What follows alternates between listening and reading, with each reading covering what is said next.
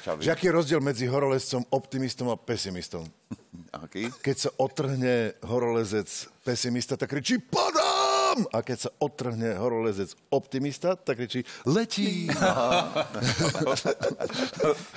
Obrovský rozdiel. Samozrejme, nerobíme si žarty z tých, ktorí tragicky zahynuli No pri toto výstupe je na to. kopce. Napríklad Kristýnka, čo by Toto mala je dnes... zábavný, hej. Napríklad Kristinka, čo by mala dnes Už o dva 20 roky. dlhšie vlasy. A už vás- o veľa Lebo by ty mala si viac. jediná blízko z nás pri oblaku. Ja to preto... Maroš? To je proste zábavný program. Prepačte.